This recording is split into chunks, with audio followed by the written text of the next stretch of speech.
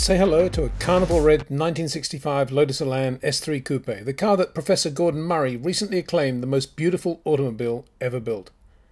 Light, supple, agile, and with a low centre of gravity, this Elan was originally owned by Ian Scott Watson and was assembled in Scotland by Jock McBain's garage. Our guest in the Elan for a lap around Royal Richmond Park in Surrey this English summer's morning is the newly crowned 2016 17 Formula E champion, Lucas di Grassi, multilingual, multi talented, and endlessly enthusiastic about the future of motorsport across a broad spectrum of technologies and disciplines. Congratulations. Thanks, man. Thank you. It was a. It's about the. Is that? This got to be the biggest thing in your career. And I never won a FIA World title. No. I won uh, many races, Macau, when I finished second in GP2, second in WEC, second in Le Mans. And this was amazing though, wasn't it? Yeah, and it was, uh, let's say, the least expected of the titles because by mid-season we were really... Yeah. And, and although it would have been nice to have won the manufacturers, it's kind of cool to win the drivers because it actually reflects really well on you. Yeah, to be honest, we this year we didn't have the best car by far. Yeah. Last year was a bit easier because the, we, it was only Renault and us. This year we had four Renaults on the grid, with Techeetah also being Renault. Yeah. We had DS, which was quite strong. We had Mahindra, which was quite strong too. So race we had uh, eight cars that could win the race. Last year was pretty much myself and uh, Buemi. Uh, or us and Renault or Upton. And there's quite a lot of difference, isn't there? Which is nice. Uh, it's it's not enough difference that the, it makes the racing boring. Yeah. But there is enough difference that, of course, you have on average a better performance. Yeah. What I, I mean, I've only really started to discover Formula E in the last year or so.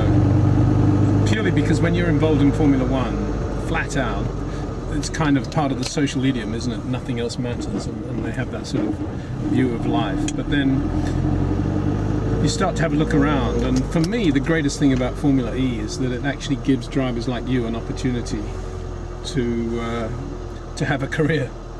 You know, and and the standard of driving now in Formula E is very high. It's brilliant in terms of the number of drivers you've got Yeah. who should be in Formula One and aren't, but it's very competitive and it's very high standard. And it's going to get better now. Uh, yeah, to be honest, I think there is uh, more driving, more drivers uh, making good money in uh, Formula E than Formula One. Yeah. If you're counting, of course, the paid drivers. Well, if Formula E didn't exist, what would you be doing? Uh, That's the other way of putting it, you know. Well, I did the WEC with Audi. Exactly. Or DTM. But, you know, but it's Well, not that many races. and It's such a great thing that it's happened for the sport, I think, and it's going as well as it has. I could be doing IndyCar. Exactly. There are other championships. You could be doing rallycross. Of course, but this is much better than all of those. Yeah, this Of course. doing? Formula E is uh, it's, it's growing quite a lot. How do you know Richmond Park? You lived in London for a long time, I I guess. lived in London, yes. Formula Three times. No, I drove up to 2009 when I was in F1, and um, I came here cycling quite a bit. It's a So- great place for cycling. Yeah, yeah. The, the, the loop is 10k. I did a couple of. Uh,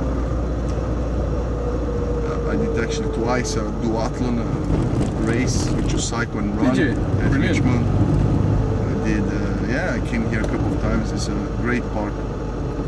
You know, recently quite a few cyclists have been done for speeding here Ah, yeah. because they've got a 20 mile an hour speed limit, and they wait at the bottom of the hill. That's London now. Where do you live now? I live in Monaco. And are you going to stay based there for the rest of this season year now, or are you going to spend I've some been time in in Brazil? Monaco. Ah, no, I'm I'm traveling a lot. I Have some other commitments that I'm doing. London, uh, Germany, Brazil. So I'm traveling a lot now. Yeah. But it's it's it's.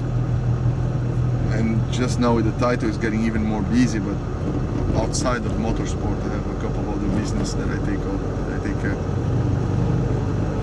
When you're driving, and I know you obviously have so much experience in Formula E compared with anybody else on the planet, what is the single most important thing from a technical point of view when you're driving the car?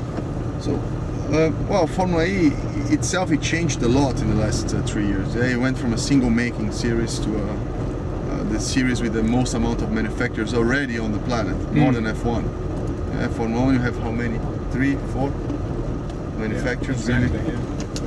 Formula E you have already six proper manufacturers this year, and by 2018, 19 you have uh, Porsche, Mercedes, and BMW coming. Yeah.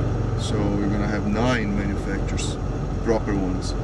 When I say manufacturers, I'm not counting the startups, just uh, proper OEMs.